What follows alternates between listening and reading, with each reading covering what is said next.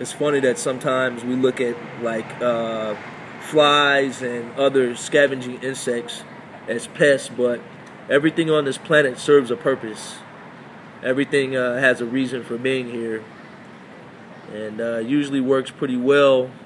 When it doesn't, nature takes its course, and uh, it eliminates things it doesn't need and adds things that it does. Uh, until man comes along and messes things up. But we don't always mess things up. Uh, a lot of times we do, but in a few days, this bug won't even be here. If the wind or something doesn't blow it away or some big ass bird doesn't come eat it up, these ants will take care of it. Yeah. All right.